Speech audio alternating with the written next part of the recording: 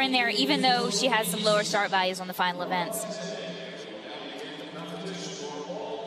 In the top group, inserted is Stephanie Moorhouse from Australia. And a big story here, Oana Ban, certainly one of the great gymnasts. We saw that in the team competition from Romania, has had to withdraw due to injury. She has a severely bruised left heel. We were just notified the start list has been changed, so now Stephanie Moorhouse will be inserted with the group of the top seeded gymnasts.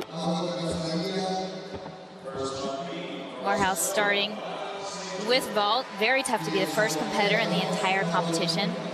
Well, and also for Stephanie, she was not expected to compete at all. Maybe exactly. she's taken a couple of days off her Olympic competition near an end, and here she is right into the all around as a substitute. But I guarantee you, she was excited to get that call to be in this all around competition. Right here, doing a full twist on with the pike back off. Pretty good vault to start off her competition tonight. Only one vault per competitor. If you remember back to the first day of competition for women in qualifying, you saw some of the athletes take two vaults. Not so this evening. The top seeds again. Carly Patterson comes in number one from the United States. Daniela Sofronie from Romania.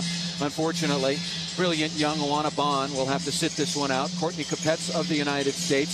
Svetlana Khorkina, who has now won six Olympic medals as we look at Stephanie Moorhouse's score, but has had disaster in the all-around.